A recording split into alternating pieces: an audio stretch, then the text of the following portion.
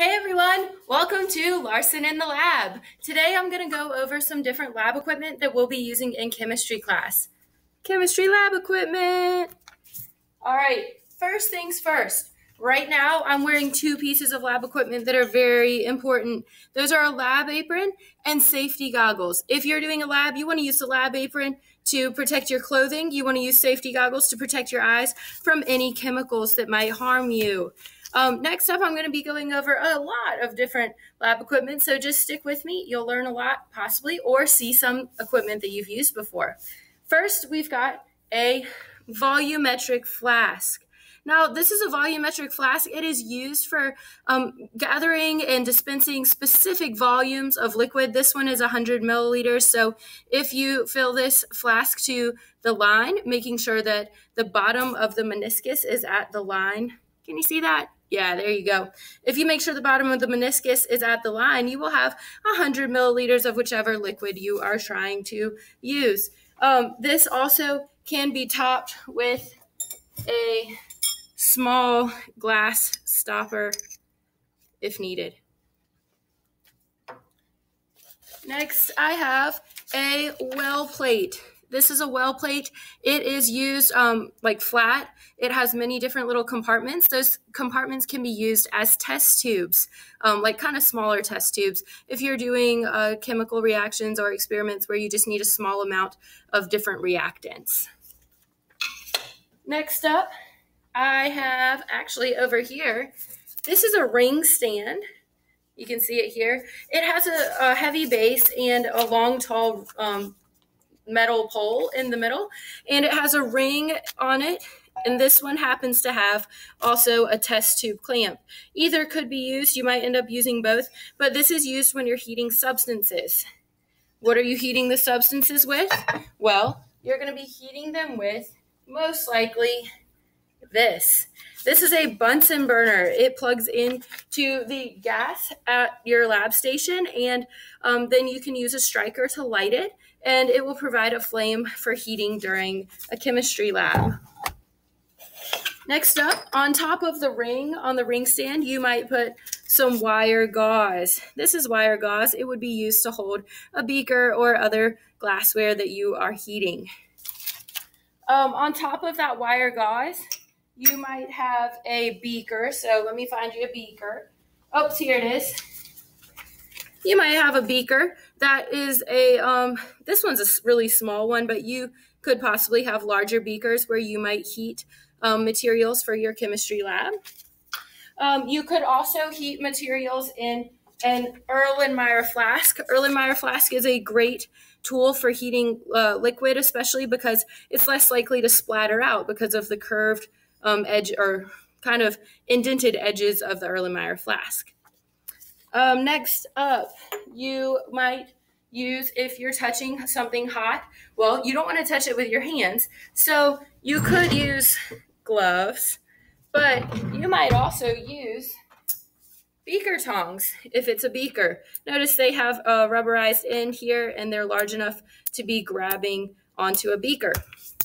Um, if you were heating, remember on the ring stand here, we had a test tube clamp up at the top so you could heat something in a test tube. Um, you probably are pretty familiar with test tubes already, but just in case you're not, let me find them. Here they are. Um, test tubes. Can, these can be used to hold chemicals, small amounts of chemicals, um, and can even be used to heat them. If you heat test tubes, you might want to hold them using the test tube clamp, or you might want to hold them using this a test tube holder or test tube tongs. If you're heating something, you want to hold it so that it's facing away from you and from your partner so that no hot liquid would splash into somebody's eyes. That would be pretty terrible. If you're not holding your test tubes um, and you don't want them to roll off the lab table, you would need to use a test tube rack. This is an example. There are many different kinds. Some are plastic, some are wood, um, but this would basically hold your test tubes so that they're not going to fly off of the table. Um, another thing that you might use with test tubes could potentially be a test tube stopper or a rubber stopper, though you don't want to put these in a test tube if you're about to heat it because that could cause a lot of pressure and then that could pop the, the stopper right off the top and that would not be the best situation for you. Um, with heating things, there are several other tools that you might use. If you're heating metal, especially, you might be using a crucible with a lid. Here's what that looks like a crucible with a lid.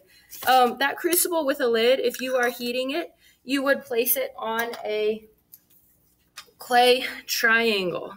Now, here's the clay triangle. The crucible fits nicely into the clay triangle like that. And how would you hold this over a flame? Well, you definitely wouldn't do it with your fingers. You would use the ring stand and place it on the ring and then place the crucible on top to heat it up. Now, think about this. If you're heating up that crucible to very high temperatures, that is going to be a terrible idea to touch it when you're done. So, to do that, you would use crucible tongs. These are crucible tongs. Notice the curved end that could be used to pick up the lid or the entire crucible. They are different from beaker tongs, okay?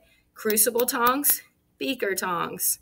All right, next up, um, what? how would you even start the flame? You would use a match, but you can also use what's called a striker. This is a striker, and it can spark a flame. There you go, you saw it. That can spark a flame over your Bunsen burner to get that lit and ready to go. All right, what are some other tools you might use here in the lab? Well, if you're trying to watch substances that are being um, evaporated or see what's left after a substance is evaporated, you might be using a watch glass. They're typically glass that looks like a giant contact lens, but it's not. It's a watch glass. It's used for watching things that are going to be evaporated or collecting what's left deposited after something has evaporated. Um, next up, if you want to see how warm did something get, how much heat is it releasing, you're going to use a thermometer. This is a very, very long thermometer, and in fact, on top, there's a little rubber thing to help it not roll off the lab table, which is important. All right, next up, you might also heat liquids that you want to evaporate and then collect some sort of remnants out of that liquid. You would use an evaporating dish. Here it is. Um, that could be set on top of a wire gauze, which we talked about earlier, such as this, and on a ring, on a ring stand. Next up, let's see, if we are trying to put small amounts of material together, we might use a pipette. This is a pipette. Um, these are actually two different types of pipettes. This is a pipette with a pipette bulb that's used for um, sucking up the liquid. This one is measured by in milliliters, so you can see different amounts. You would just want to make sure as you're measuring that the bottom of the meniscus is at the amount that you wanted to measure.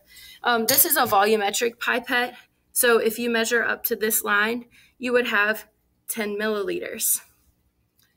Um, oh, side note with these pipettes, never ever ever put your mouth and suck the material up. That's very dangerous. You want to use a pipette bulb to do that. All right. Once you have that, you that's used for collecting liquid measures. But if you wanted to also collect small amounts of liquid, you can use a small dropper. These are typically much smaller and they might hold like one milliliter. Um, if you're collecting dry materials like powdered substances or um, pieces, shavings of metal, something like that, you are probably going to use a scoopula or also known as a spatula. They look like this. They come in a variety of shapes and sizes, but they're used to collect small amounts of material. Well, how much material do you have? You can use an electronic balance to find out.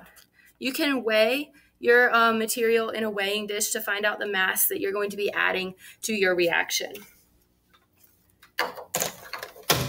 One more way of measuring liquid is using a graduated cylinder. You've most likely seen one of these before. They come in many different shapes and sizes, and the correct shape and size would be provided to you as you work on your lab. When combining materials, you might use a glass stirring rod. This is a glass stirring rod. Um, from afar, it kind of looks like maybe one of the thermometers or a pipette, but it's actually solid glass.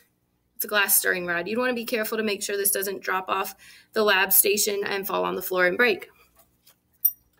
All right, another big piece of measuring equipment in chemistry is going to be a burette. This is a burette. Um, you can see it's very, very, very long.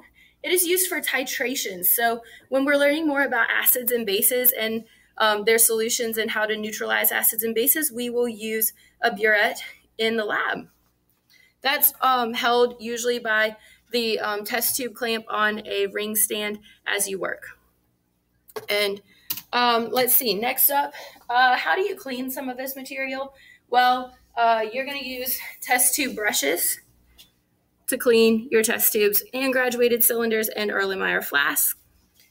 If you have a large beaker that you're trying to clean, you might use a larger beaker brush.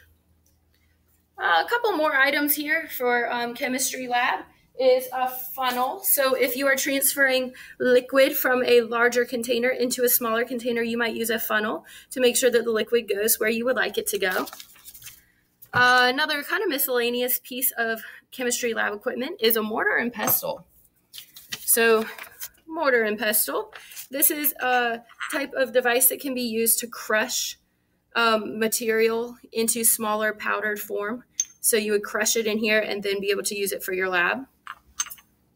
Um, another source of heat in the lab, other than a Bunsen burner, you might use a hot plate. This is a hot plate. It plugs in. You can set it to a certain power level, and you can use a thermometer to see how warm it's getting. It's called a hot plate. All right, last piece of lab equipment for the chemistry lab is a plastic wash bottle. This can be used to um, clean out glassware and also if you need distilled water for a lab it squirts right out. There you go. Hope you've enjoyed Larson in the Lab. Have a great day.